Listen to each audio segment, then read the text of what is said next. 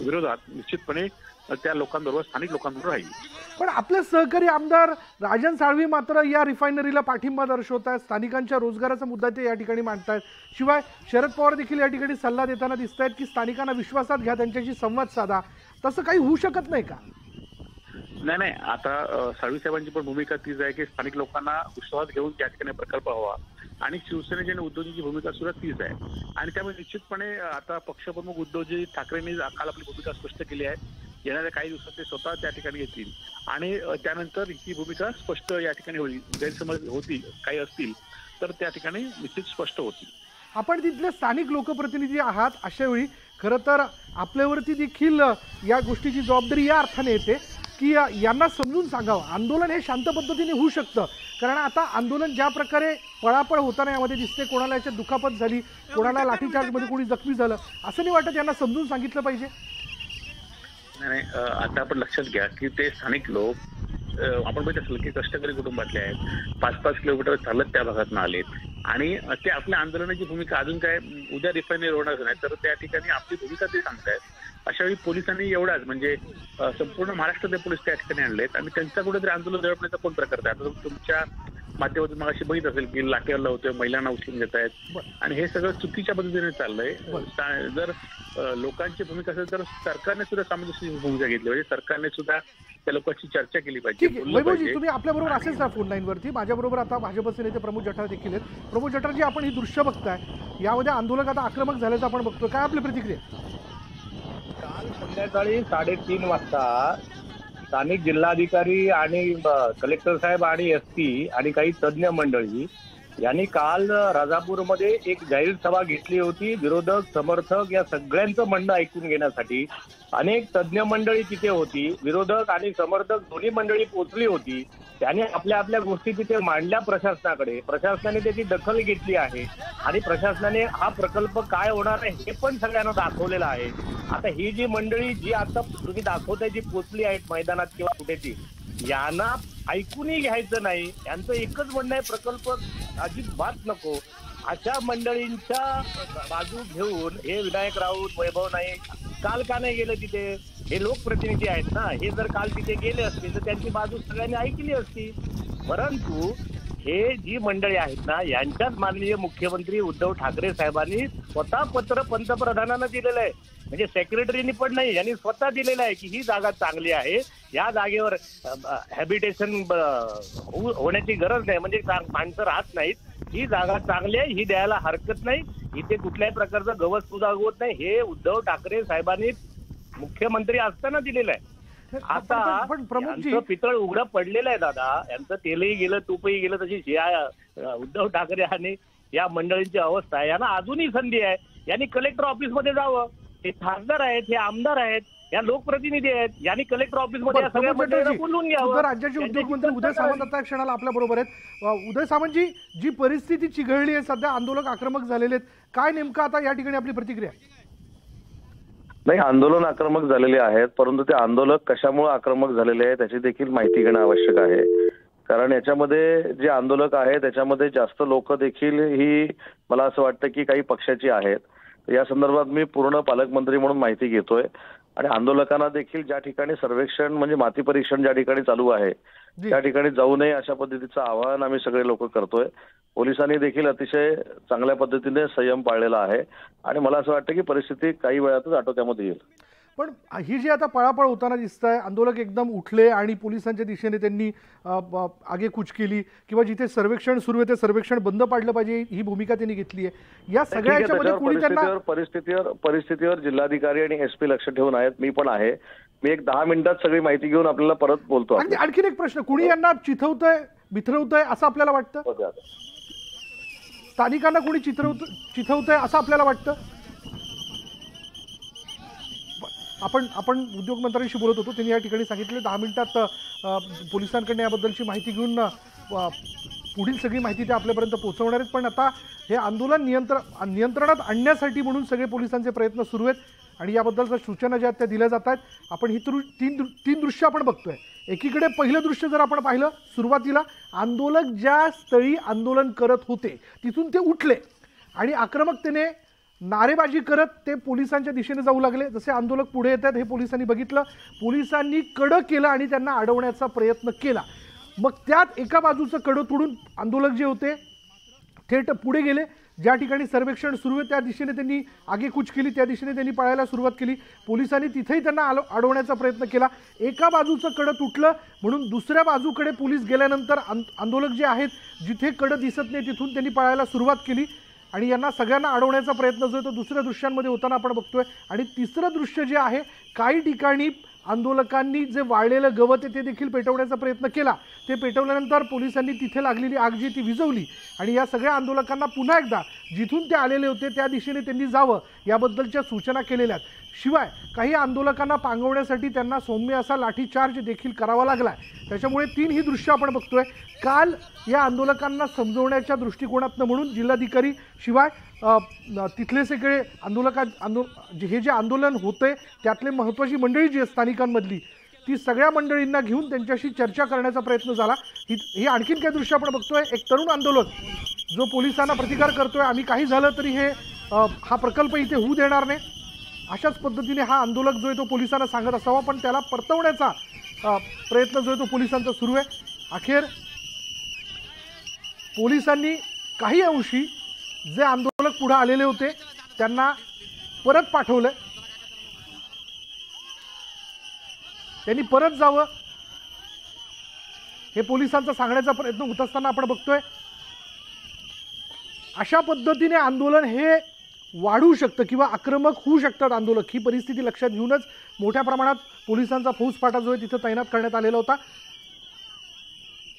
पुन्हा एकदा आता या क्षणाला नव्याने जे आपले दर्शक आता या क्षणाला टी व्ही समोर बसले त्यांच्याकरता म्हणून बारसू रिफायनरीच्या विरोधात जे आंदोलन सुरू आहे ज्याचा आजचा पाचवा दिवस आहे आपण बघतोय.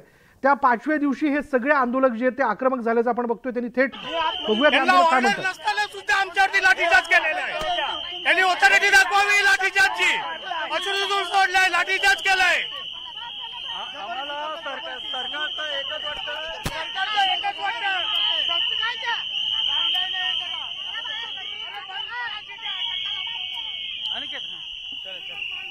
आपण प्रयत्न करूयात आमच्या प्रतिनिधींपर्यंत आपण जाण्याचाही प्रयत्न करू त्यांना विचारण्याचा प्रयत्न करू. काही आंदोलक बोलतायत माध्यमांशी बोलतायत पण पोलिसांनी त्यांना परत जावं असं त्यांना सांगितलेलं आहे. काही ठिकाणी लाठीचार्ज करण्यात आला. आजच्या पाचव्या दिवशी सुरू असणारं हे आंदोलन. आणि याच विषयी आपण बोलणार आहोत. आपल्याबरोबर आहेत उबाटा गटाचे खासदार अरविंद सावंत. अरविंद सावंत जी आपण बघतो हे आंदोलन आता चिघळलंय. आंदोलक आक्रमक झालेत. काय आपली प्रतिक्रिया? चिघळले म्हणजे सरकारने चिघळवलंय. ते शांतता पूर्ण करतायत. गोरगरीब आहेत त्यांची वस्त्र बघा काय कशी कशा गरीब महिला आहेत कशी माणसं आहेत ती? कोणा दलालांसाठी हे सरकार बघते पोलीस म्हणजे गुलाम झालेले आहेत आता. म्हणजे किती निषेध कुठल्या शब्दात निषेध करावा यांचा? दानके घेऊन ते गरिबांच्या मागे लागतात. मुठभर गरिबांच्या मागे हजारो पोलीस. ही ही हुकुमशाहीकडे चाललेली वाटचाल आहे. त्या जमिनी कोणाच्या आहेत कोणी घेतल्या ते आपण जरा बघा ते दलाल कोण आहेत ते. दलालांसाठी वागणार हे सरकार आहे. त्याचा जितका निषेध करावा तितका थोडा होईल एवढं लक्षात ठेवा. कालही आदरणीय उद्धवजींनी स्पष्टपणे सांगितलं. बर. की बारसूच्या संदर्भात लोकांना सोबत बैठक घ्या. त्यांना तुमचा प्रोजेक्ट दाखवा ते हिताचा आहे का? कळू द्या त्यांना. वापर केला तिथे त्यांना तुम्ही खातरजमा करून द्या. तर आणि तरच पुढे सरकार आहे तर सरकता येणार नाही. तुम्ही जबरदस्ती करणार का दलालांसाठी? अरविंद सावंत जमिनीचे मालक कोण आहेत तर त्या चॅनलवर दाखवावं एकदा. कोणी घेतल्या जमिनी ते पण कळू द्या. भाजप नेत्यांचा असा आरोप आहे की काल जिल्हाधिकारी या प्रोजेक्टच्या संदर्भात समजवण्याकरताच तिथे गेलेले होते. पण आपल्या नेत्यांपैकी हो, वैभव नाईक असतील हो, किंवा विनायक राऊत असतील कोणी तिथे गेले नाही आंदोलकांशी. बोलायला? काय तुम्ही सांगता गेले होते म्हणून? वेड्यात ती माणसं. वेड्यात ती माणसं. त्यांना माहिती आहे काय करायला येतात ते. ज्या पद्धतीने त्यांनी सांगितलं की आमच्यातली ही ही माणसं पाहिजेत चर्चेला त्यांना नाही ते जेलमध्ये. आणि इतरांची काहीतरी तुम्ही चर्चा करा ज्यांना काही माहिती नाही त्यांना गरीब आहेत बिचाऱ्यांना. अज्ञान आहे त्यांना कायद्याचं. जबरदस्ती करता का तुम्ही? बोला जाऊन बसा ना समोर. बरोबर विनायक राऊतांनी त्यांच्यासमोर बसून भाषण देत तुम्ही समोर जाऊन बसा. जा ना पालकमंत्र्यांनी जा ना मुख्यमंत्र्यांनी. आणि तहसीलदारवर सांगू नका बरं गुलाब असा असा ती- ती सगळ्या गुलाम माहिती दांडके घेऊन फिरतात त्यांच्या मागे. लाज नाही वाटत करे अरविंद सावंतजी असं देखील बाळगा. असा देखील एक आरोप केला दांडके आजच्या भरपटत देता तुम्ही. असा देखील आरोप होतो आहे की मुख्यमंत्री असताना उद्धव ठाकरेंनी या प्रकल्पाच्या संदर्भात एक भूमिका मांडली. तुम्ही जर तुमचं ते कालचं माननीय उद्धवजी ठाकरे साहेबांचं भाषण दाखवा. तुमच्याही ज्ञानात प्रकाश पडेल आणि तुमच्या जे कोणी तुमच्याबरोबर येतात त्यांच्याही ज्ञानात प्रकाश पडेल. कळलं का? असले प्रश्न विचारताना काल उत्तर दिलंय त्यांनी. ते दाखवा ना मग. ते का नाही दाखवा तुम्ही?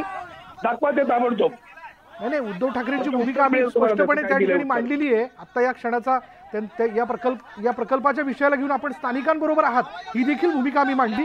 आपण ही दृश्य बघतो या दृश्यांमध्ये बघू शकतो की ऊन आहे या भर उन्हामध्ये हे आंदोलक जे ते आंदोलन करताना आपण बघतोय. आणि त्याच्यामध्ये काही आंदोलकांना पांगवण्यासाठी पोलिसांना लाठीचार्ज करावा लागला. त्यात काही आंदोलक नेमके या लाठीचार्जमुळे त्यांना काही दुखापत झाली म्हणून तिथं चक्कर येऊन कोसळले की नेमकं काय झालं याबद्दलची माहिती आपण घेऊ पण ही दृश्य आपण बघतोय. की काही आंदोलक जे आहेत ते चक्कर येऊन तिथे घटनास्थळावरती पडलेत. बोलूयात आपल्या बरोबर उबाटा गटाचे खासदार विनायक राऊत आपल्यासोबत आहेत. विनायक राऊतजी आपल्याला एका ठराविक अंतराला अंतरावरतीच थांबवण्यात आलं. आणि आता हे आंदोलन आपण चिघळल्याचं आपण बघतो याला जबाबदार कोण? हो, संपूर्ण जबाबदार या महाराष्ट्रातलं मिंदेश सरकार आहे मुख्यमंत्री उपमुख्यमंत्री देवेंद्र फडणवीस आहे. आज मी ज्या पद्धतीने आपल्या टीम पाहतोय की ते बिचारे उन्हामध्ये तडपडून पडले खाली आणि त्यांच्यावर लाठीमार झाल्याचं दिसतोय आणि एकटा रक्तरक्त म्हणून आहे त्यांना पोलिसांची लाठीमार होऊन ते जमिनीवर पडलेले बेशुद्ध बे बेशुद्ध झालेले मी ग्रामस्थ बघतोय. अत्यंत नीच कृत्य देवेंद्र फडणवीसांच्या या महाराष्ट्रामध्ये एकनाथ शिंदे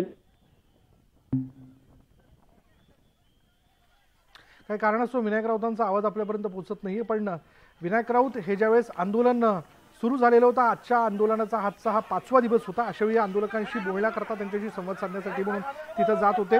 पण त्यांना एका ठराविक अंतरावरतीच त्यांना थांबवण्यात आलं आणि कायदा सुव्यवस्थेचा प्रश्नाची कायदा सुव्यवस्थेची परिस्थिती निर्माण होऊ शकते हे कारण देत त्यांना ताब्यात घेण्यात आलेलं होतं. ही दृश्य आपण बघतोय. धक्कादायक अशी सगळी दृश्य. हेच ते आंदोलक आहे ज्यांचा या बारसू रिफायनरीला विरोध आहे. आणि यातली एक महिला देखील आता आपण बघतोय. तिला काही दुखापत झाली आहे कदाचित त्यामुळं ही चक्कर येऊन पडल्याचं आपण बघतोय. त्यांना पाणी दिलं जात आहे सगळ्या बाकीचे जे आंदोलक आहे त्यांना ते पाणी देत आहेत त्यांच्या चेहऱ्यावरती पाणी म्हणून त्यांना उठवण्याचा प्रयत्न केला जातोय. अधिक माहिती आपण जाणून घेऊत आमचे प्रतिनिधी स्वप्नील घाग आत्ता एक क्षणाला आपल्या बरोबर आहेत स्वप्नील या दृश्यांमध्ये हे जे आंदोलक आपण बघतोय त्यांना त्यांच्यावर लाठीचार्ज झाला म्हणून अशा पद्धतीने ते जखमी झालेत म्हणून त्यांना खाली बसावं लागलंय का? विषय मागच्या अर्ध्या तासापासून हे आंदोलन सुरू आहे आणि हे आंदोलन उग्र होत होतं तसं पोलिसांनी ह्या आंदोलकांना थांबवण्यासाठी लाठीचार्जचा वापर रंगवण्यासाठी लाठीचार्जचा वापर केलेला आहे. या दरम्यान अश्रू अश्रुधुराचा देखील मोठ्या प्रमाणात वापर केला आहे. आणि या सगळ्यातून जवळजवळ चार ते पाच जण हे आता बेशुद्ध पडल्याचं पाहायला मिळतं आहे. याच्यामध्ये महिलांचा देखील समावेश आहे. वयोवृद्ध ज्या महिला आहेत त्या देखील या ठिकाणी बेशुद्ध पडल्याचं पाहायला मिळतं आहे. मोठ्या संख्येने जे इथले ग्रामस्थ आहेत त्या ग्रामस्थांनी एकत्रितपणे आतमध्ये प्रवेश केला होता. आणि हा हा प्रवेश हा लोकांचा जो प्रवेश आहे सर्वेक्षणाच्या ठिकाणी जी राहणारे लोक होते त्या लोकांना थांबवण्यासाठी पोलिसांनी मोठ्या प्रमाणात तिथे लाठीचार्ज केला आहे. आणि अश्रुधुराच्या ज्या नळकांड्या त्या त्याचा वापर करत हा- ही गर्दी पांगवण्याचा प्रयत्न केलेला आहे. अनेक महिलांना हा सगळा त्रास जो आहे तो सहन झालेला नाही आहे महिलांवरती देखील मोठ्या प्रमाणात लाठीचार्ज झाल्यामुळे काही महिला ज्या आहेत त्या इथे बेशुद्ध अवस्थेत पडलेल्या पाहायला मिळत आहेत. अनेकांना जो आहे तो त्या धुराचा त्रास होऊन इथे अनकॉन्शियस पडलेले पाहायला मिळत आहेत. अर्थातच त्याच्यासोबत त्याच्यासोबतचे जे आंदोलक आहेत त्या आंदोलकांकडून पा- पाणी दिलं जातं आहे. तात्पुरत्या स्वरूपात का होणं जे आंदोलन आंदोलक जे आहेत ते मा- मागे फिरल्याचं पाहायला मिळत आहे. मात्र मात्र या ठिकाणी प्रचंड प्रमाणात जे आहे ते घोषणाबाजी सुरू आहे. आणि हे आंदोलन जे आहे ते कुठल्याही परिस्थितीमध्ये मागे घेणार नाही असं पोलिसांना ठणकावून सांगताना पाहायला मिळत आहेत. त्यामुळे पुढच्या त्यामुळे आता हे पुढे जे काय काय होतंय हे पाहणं गरजेचं आहे. आपण जर पाहिलं तर ठिकठिकाणी ज्या महिला आहेत त्या महिला बेशुद्ध अवस्थेत प- पडल्याचं पाहायला मिळतं आहे. त्यांना ह- हवा हवा दिली जाते किंवा त्यांच्यावरती पाणी शिंपडलं जात आहे जेणेकरून त्या शुद्धीवरती येतील. आपण जर दृश्यांच्या माध्यमातून जर पाहिलं तर किती किती मोठ्या प्रमाणामध्ये या महिलांची संख्या आहे ते ते आपल्याला पाहा- पाहायला मिळू शकतं. काही काही आंदोलकांशी आपण बोलू शकतो का? काही आंदोलकांशी बोलू शकतो का स्वप्नील? प्रकारचे थांबवण्यात येणार नाही असं सांगितलं जातं हा न- निश्चितपणे निश्चितपणे. आपल्यासोबत काही तरुण आहेत त्यांच्याशी बोलू शकतो. काय काय आहे? याच्यावरती दाब घ्यावा काय तो? सर्व ह्याच्यावरती अश्रुदूर हे केलेले लाठीचार्ज केलाय. ते काय करत होते? फक्त आमच्या जमिनी वाचवण्याचे हे करतायत प्रयत्न करतायत. ह्यांच्याकडे वन फोर्टीवर का लागू केलाय? हे आम्हाला माहीत नाही. हे आमच्या जमिनी आहेत. बरोबर? आमच्या ग्रामपंचायत ठराव नसताना हे लोक का पुढे हे करतायत? आणि एवढा दोन हजार पोलीस फाटा का आहे? ही सर्वात जबाबदारी कोणाची असेल आणि यांना यांना आदेश कुणी दिलेत? हे सगळं शोधून काढलं पाहिजे परत. जे ज्यात राजकारण आहे तिने सगळ्यांनी एकत्र येणे गरज आहे आंदोलन नाही नाही, आंदोलन थांबवणार नाही. आंदोलन थांबवणार नाही. आता जर हा माझा फोटो जर मीडिया समोर आला तर हे मला अटक वॉरंटचा घरी माझ्या घरी घेऊन येतात नोटीस लावतात. रात्री आमच्या गावात आठ पोलीस दत्तक घालून होते दस्तक घालून होते तिथे. आता ह्या बघा हे माणसाची हालत बघा. ह्याला तीन पोलिसांनी ढकलले तीन पोलिसांनी. तीन पोलिसांनी ढकललं. मला. मी मी आतमध्ये घुसखोरी बघा यांच्या पाठच्या साईडला इथं दांडा मारलाय. दांडा मारलाय दांडा. माझी प्रतिक्रिया एवढीच आहे. सरकारने हे सगळं थांबवावं जनतेचा विचार करायचा. सरकार उदय सामंत आणि राजन साळवी यांनी इथे यायचं जनतेसमोर यायचं आणि त्यांनी त्यांचा विचार मांडायचे आम्ही मी विचार मांडतो. विचारलं तर बोलते कलेक्टर मॅडमची ऑर्डर आहे. सरळ बोलले. मॅडम कोण आहे? कलेक्टर मॅडमची ऑर्डर आहे म्हणून मला सांगत नाही. झालेल्या मारहाणीला वयोवृद्ध लोकांना कलेक्टर मॅडम जबाबदारी घेणार आहेत का? उद्या ह्यांच्या जर कुणाच्या जीवाचं बरं वाईट झालं तर कलेक्टर मॅडम त्याची जबाबदारी घेणार आहेत का? ज्यांनी हा आदेश दिला की मग लाठीचार्ज करायचा. तिकडे दोन मुलं अजून जखमी पडलेली आहेत. इथे माझ्या म्हाताऱ्या आईसारख्या सर्व पाच सहा जणी पडलेले आहेत. तुम्ही बघितलं असेल त्याच्या डोळ्याला पाणी लावून त्यांना शुद्धी आणण्याचा प्रयत्न करतो. आणि तिकडे सांगितलं जातं की कलेक्टर मॅडमनी हा आदेश दिलेला आहे. जर जमावबंदी करून तिकडे येत असाल तर त्यांच्यावरती लाठीचार्ज करायचा आहे. तिथे ल- गवताला आगी पण लावलेल्या आहेत. त्याच्यात जर एखादा दुसरा कोण जळून मेला असता त्याची जबाबदारी घेतली असती का त्या लोकांनी? हे तुम्ही पण मीडियाने त्याचं दाखवलं पाहिजे. अश्रू दुराच्या नळाकांगे सोडतायत. त्याच्यामुळे पण माणसं चक्कर येऊन पडतायत. आंदोलन आमचं हे कायमच राहणार. किती जरी आमची माणसं आम्ही इथे मेलो तरी आनंद लास्टच्या क्षणापर्यंत आमचं आंदोलन चालू नाही आम्ही ते ठेवणार. आज बघा आमच्या आया बहिणी इथे लाठीमार खाऊन इथे पडले आहेत. पण कोण सरकार जबाबदार ह्याला जबाबदार कोण सरकारच असेल? आणि हे आमचं शेवटचं आंदोलन असं समजू नका. हे आंदोलन आमचं ज्या दिवशी होईल त्या दिवशी आम्ही संपूर्ण करणार.